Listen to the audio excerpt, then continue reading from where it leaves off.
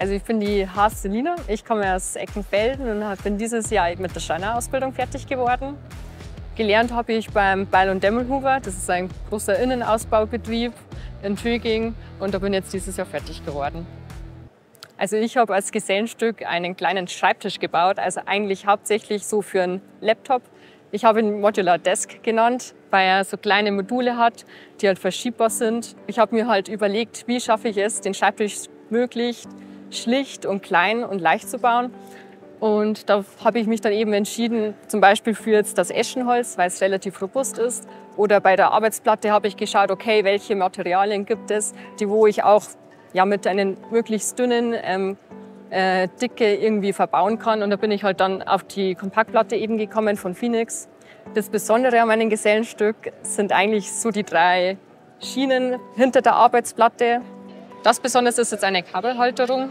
Also da kann man zwischen den Schlaufen Kabel dann einspannen, sodass die hier halten. Als zweites kann man da hinten eine Stifteschatulle sehen. Die ist auch auf den Schienen frei verschiebbar und von den Maßen so, dass genau Stifte reinpassen mit kleinen Messingbändern.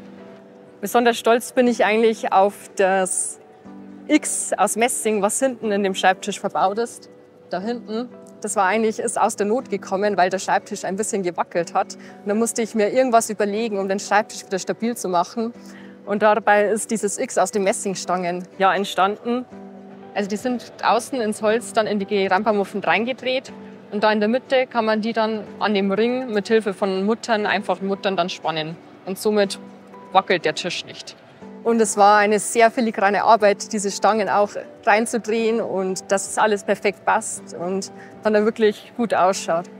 Bei der Schublade, die habe ich von allen Seiten gezinkt mit einer offenen Schwalbenschwanzzinkung.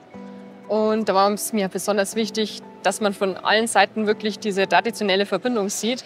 Deswegen habe ich eine innenliegende, oben geführte Führung gewählt. Die Besonderheit an der Führung ist, dass sie eben innen geführt ist, innenliegend und oben, sodass man die Führung von außen nicht sieht. Da unten ist es bloß ein bisschen abgerundet, das ist dann der Griff. Warum bin ich Steinerin geworden? Also erstens, weil es mir total Spaß macht, irgendwelche Möbelstücke selber zu entwerfen und als Schreiner kann man halt dann diese Entwurfsideen auch einfach umsetzen. Und wenn man am Ende sieht, dass man dann irgendwie das Möbelstück aus irgendeinem Gedanken dann gebaut hat und das einfach stehen sieht, ist das eigentlich ein sehr schönes Gefühl, zu wissen, dass man das kann.